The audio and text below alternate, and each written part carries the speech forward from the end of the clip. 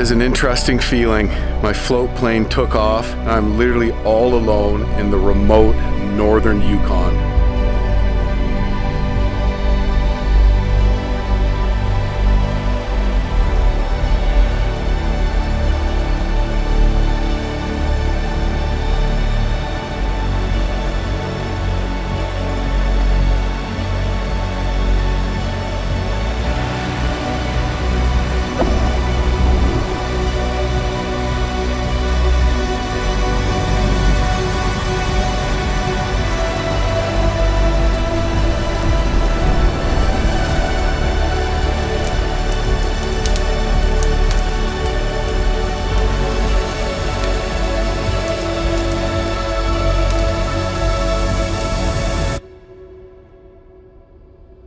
Be on the river for about 14 days and looking really forward to it. Another awesome adventure kicking off.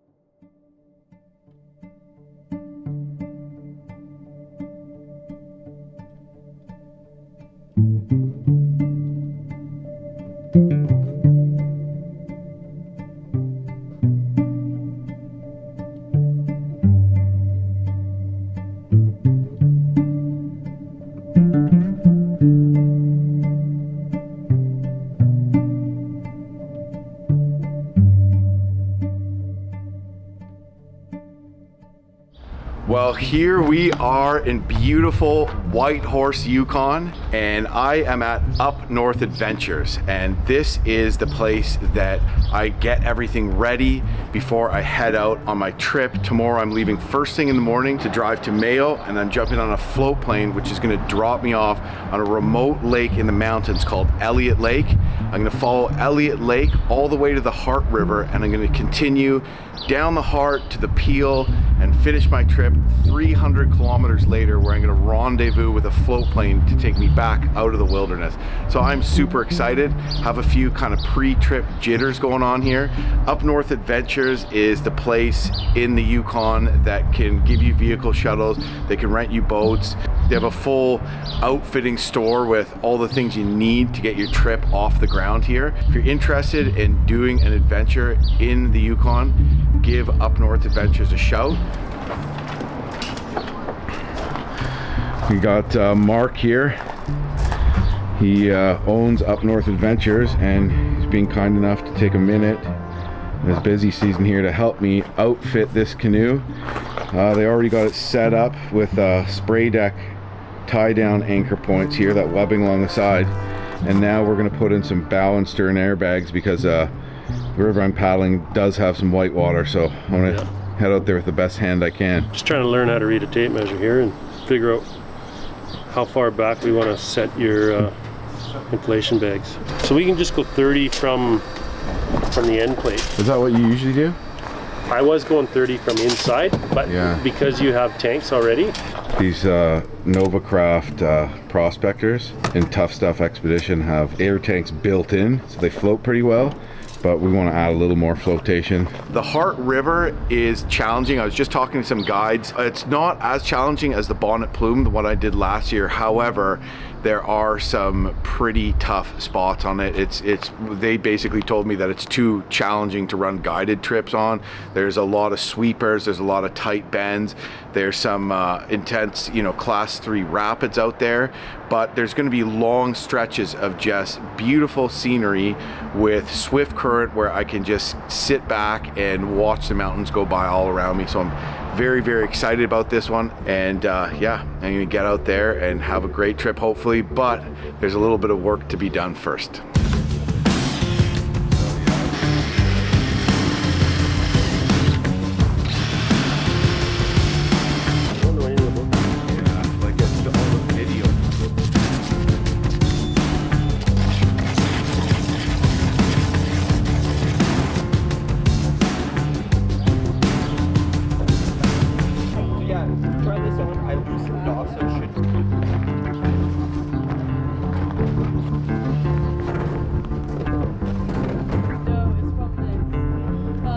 This is Nikki. She works with Up North Adventures. She's kind of a big deal and uh, it's the gears of the operation around here. Some people might recognize the name. Uh, my great great grandfather's name is Skookum Jim. He had something to do with the gold rush back in the day. You could Google him. Wasn't he the guy who basically discovered, Yeah. the, who started the entire gold rush? yeah, that's the guy. That's wild. So he's your great great grandfather? Yes. Wow, that that is super cool.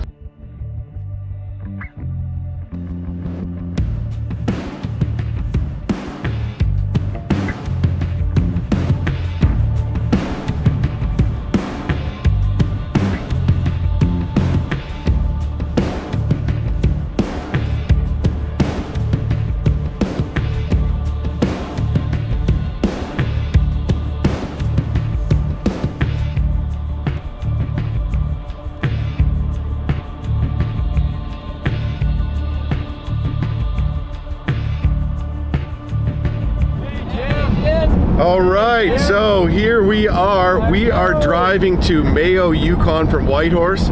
Early departure, and I jumped on a shuttle with this group of people uh, that are doing a trip with Black Feather, and they're flying out around the same time as me to paddle another river in the Peel watershed, which is the Snake.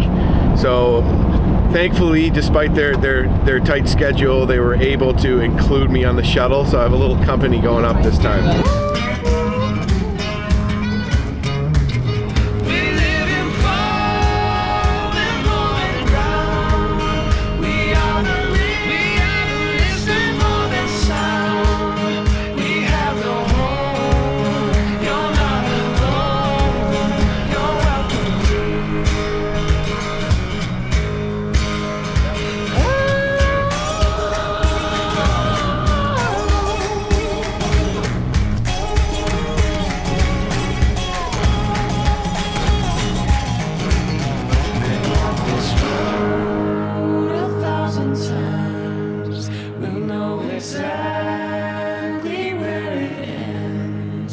We just arrived at Alkan Air, and this is a float plane base near Mayo. And Mayo is known as the heart of the Yukon, which is interesting because I'm paddling the Hart River, H A R T, in the heart of the Yukon. So I feel like there's a dad joke in there.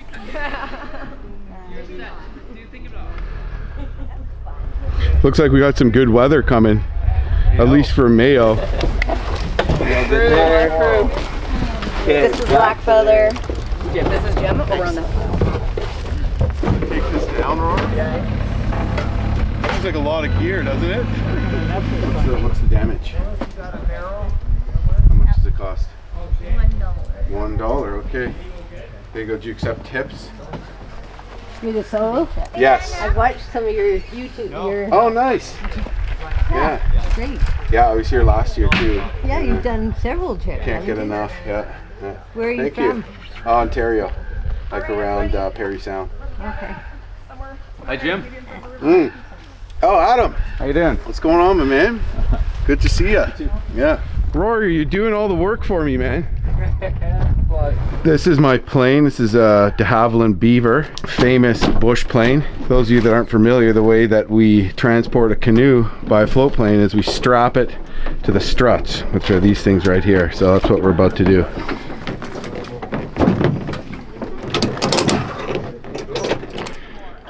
Bye, Black Feather. Have a safe trip. Trip. Bon voyage. Not too graceful, but I get the job done.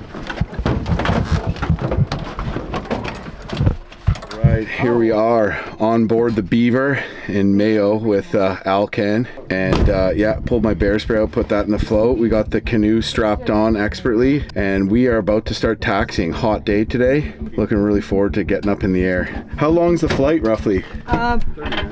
It's about 45. Okay.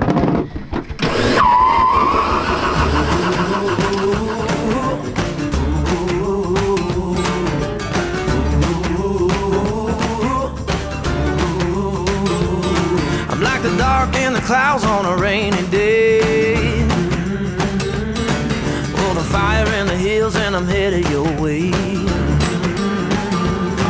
Oh, it's alright, baby, don't be afraid. Just give it hell heads up on my dangerous ways. And I know everything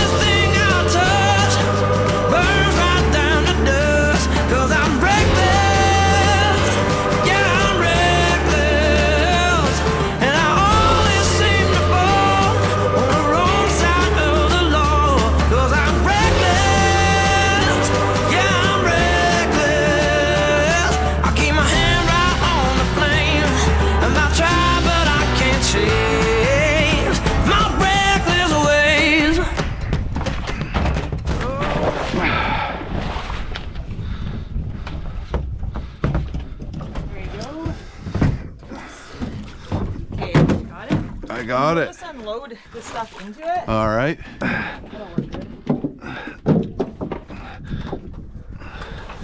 What do the water levels here look like to you in this lake? Uh, Looks it's always tough to tell. Like, Yeah. to me, they're high right now. Yeah, okay.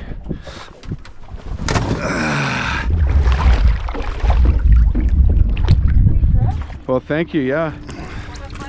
I will. So a lot of forest fire smoke in there. I actually saw smoke from an active forest fire burning, but fortunately nowhere near me.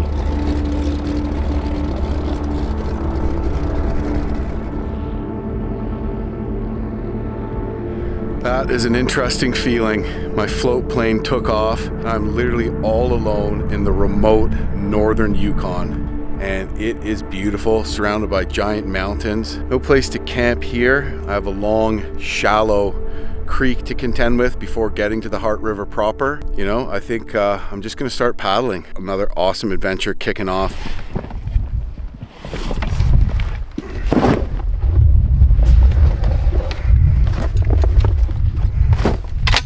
Uh, a lot of people don't travel with a firearm, uh, but we are in grizzly bear country here, and um, I'm alone. If you're with a bigger group, you're definitely less interesting uh, to a large predator, and so um, I'm a little safer with it.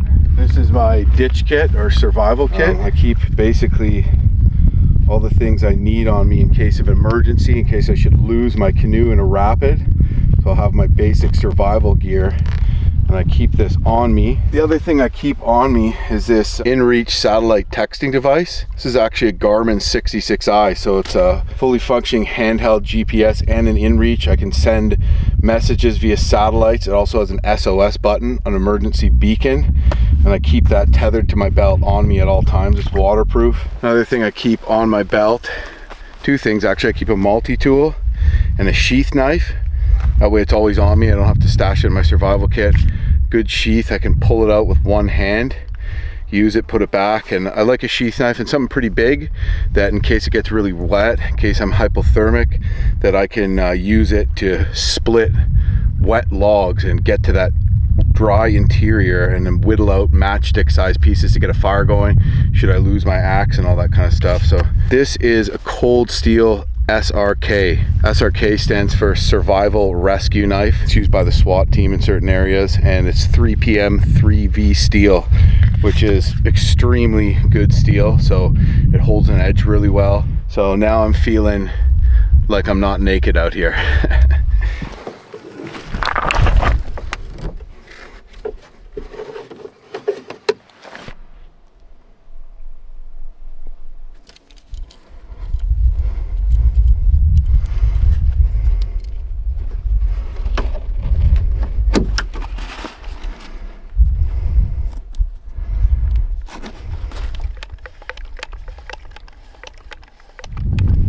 big fan of these uh, water pumps, but I couldn't find my uh, squeeze filter, so I picked another one up.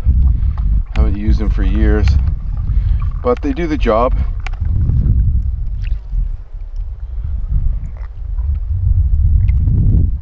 Oh yeah. a Couple more things to do, but we're at the point where I set up my fishing rod. You never know exactly what kind of fish might be in a given river most of the time, uh, but there's typically always grayling in these rivers. Um, so I might get into some bull trout, I might get into some lake trout, whitefish. We'll see. But grayling are just beautiful fish and they're delicious too. Gonna throw in a clamp swivel and a little spoon. Got uh, small little uh, Mepps spoons. I also have a lot of Mepps spinners and small William spoons. Really have a ton of stuff.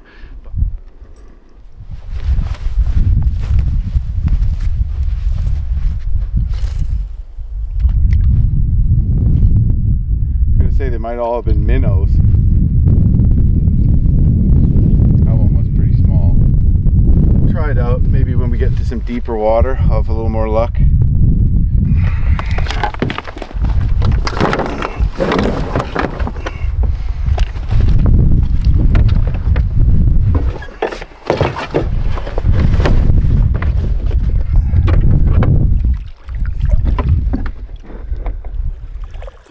And we are off. Feels good. I'm glad I took a little bit extra time back there just to get everything dialed in. I know where everything is. Everything's packed away properly. I feel confident. I feel good about uh, getting out here.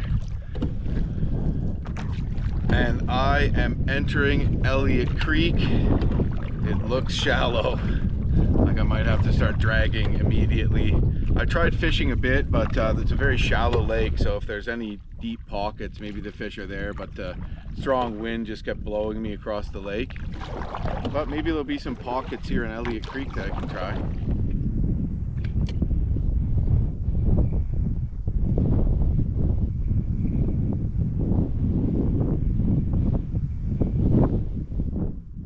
I'm stuck. Didn't make it too far. So I just checked my map again and it's over 20 kilometers of this. So who knows how long it'll take me or what the conditions will be like, but bit at a time.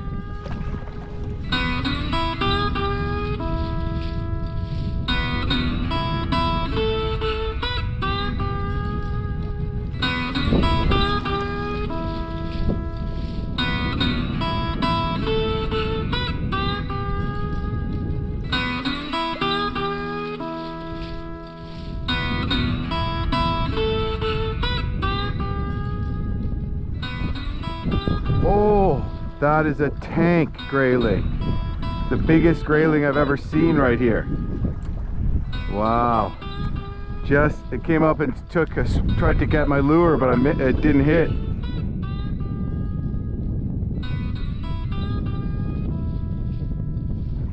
There we go. Yes. Oh, lost it.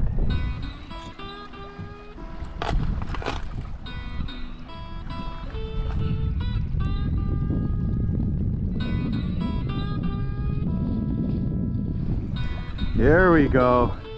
That's the color they like is silver. Yeah. Oh, right in the boat. Sweet. Oh, it's a whitey. Whitefish, baby. Maybe that's why the other one was so big. It wasn't a grayling, it was a whitefish. Well, I think that that one that I thought was really big, that it was a grayling, was actually a whitefish.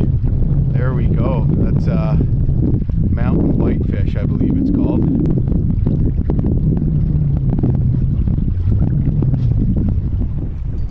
Oh yeah, there's one.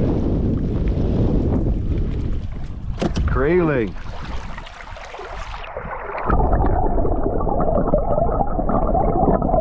Well, took a while here, but you know, I'm chalking it up as a little R&D, figuring out what kind of fish are here, what's biting. Exciting to catch a whitefish and see what was probably one that was probably four pounds. Just a giant. And uh, yeah they seem to like the small mouths. So number one or a zero Mepps silver is what they've been what I was getting the action on. A lot of follows on the bigger lures but no strikes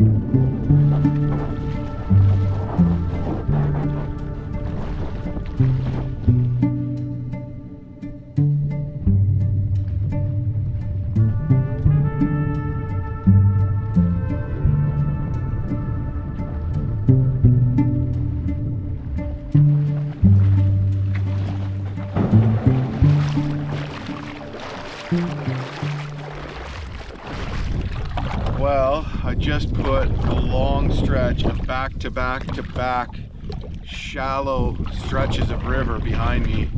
So I was jumping in, jumping out, jumping in, jumping out, and uh, one of them was like pretty much a drag over rocks. So yeah, uh, if there's any less water, things would get pretty interesting, but should be okay as long as the water doesn't drop a whole ton.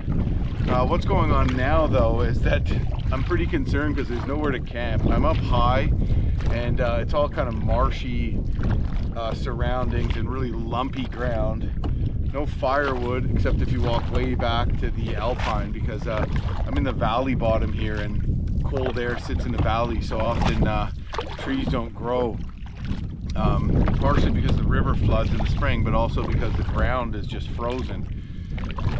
So that's okay. I don't need to have a fire, but I need a spot that's flat to set up my tent etc. etc. Right now, I haven't seen anything, so it's already pushing seven.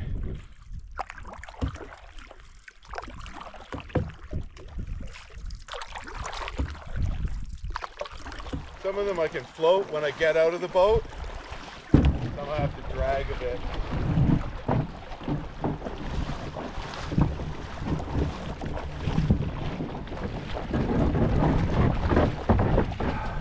It's like about a 30 foot float here. And I'm back out of the boat. One little pocket here is like waist deep, so paddle backwards.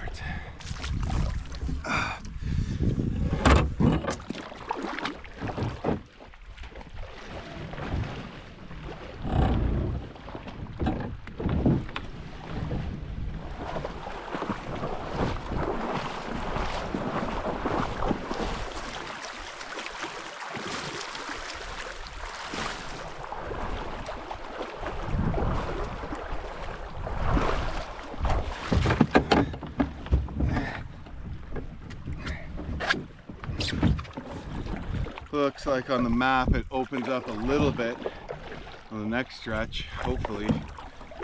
Looks like I might have to get out again right here though. Man, this is gonna take me a long time if it keeps up like this. Like I, I've probably done like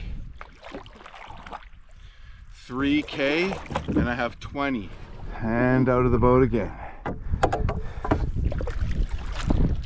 Uh, I'm just sitting on the back here like this because it's easier to hop on and off because there's literally pools that are too deep to wade and a few feet later you're stuck again. So hopefully it doesn't keep up for too much longer, man.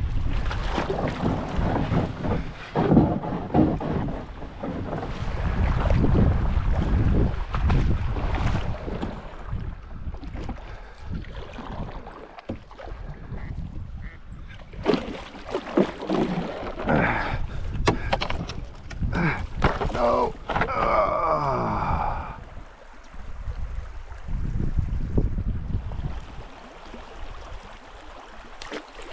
Oh man, this is shallow. Looks like the water has gone down. Bummer. Super shallow. It's not even wading, this is just dragging over rocks at this point. I just ran up on some more rocks here for the shallow swift. I'm gonna have to get out and drag. And I stood up and it looks like there might be a place I can camp here. It's not the best, but I'm gonna get out and just check it out. I wouldn't want the water level to come up much more. I suppose I could pitch a tent on this. Really lumpy though, but certainly better than uh, the rest of the stuff around here, which is like this. Well, this is uh, definitely not the best, but I suppose it was doable.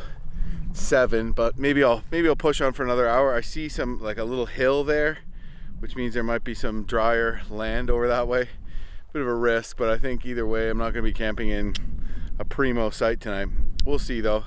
You know, most of the time, as long as there's at least enough flat area for me to lie down, you get out and you start hanging out, and it starts to feel like home. So, but uh, yeah, this time I think I'm gonna have to drag over all this, wade through all this, and then um, get down there and hopefully that lump, that kind of like big hill I see, hopefully at the base of that there's something that's uh, solid ground. So I'm gonna take the risk and move on a little bit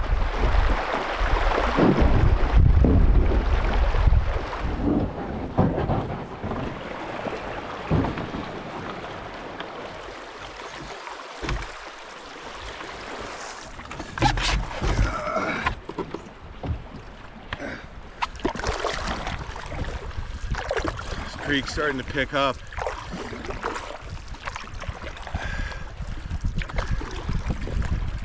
Gonna be some uh, basically linings, not just wadings or draggings.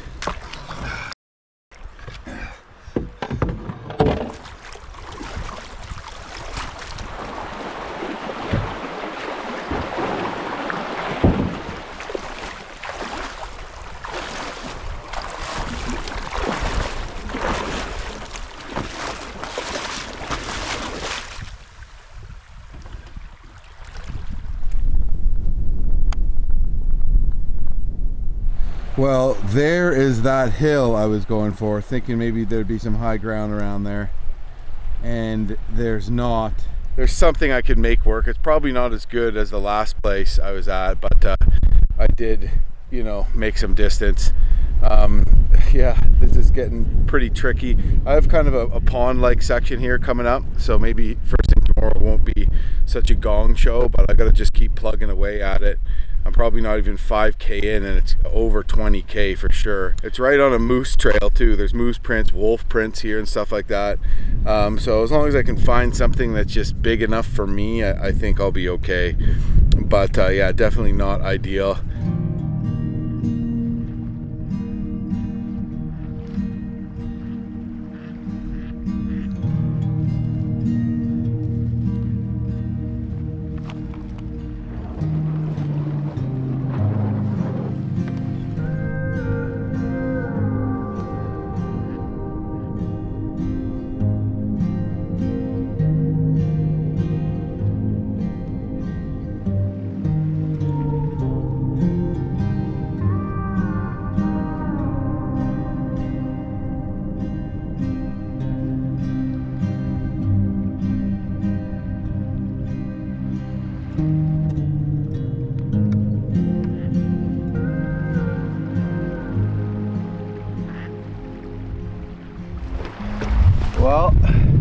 Kind of settled in, got my tent set up.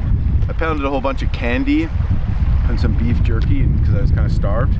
So I might not cook up my pasta tonight, I might just have the fish and uh, not much food, but I already kind of ruined my appetite. And uh, yeah, just uh, the black flies. As soon as the wind dies down, the black flies are horrific here. Just throwing on a little bit of my Muskol insect repellent. This is uh, 25% DEET. I, you know, I typically don't really even put a ton on my clothes necessarily, but uh, I use the 30% DEET. So, and this is a lotion too. I really like this one.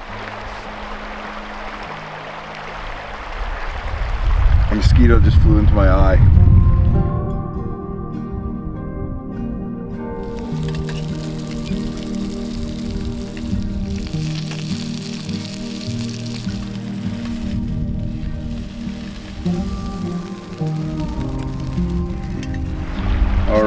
We go. Yukon whitefish. Mmm. Very mild. Very mild. Not as marked as a flavor as uh, grayling.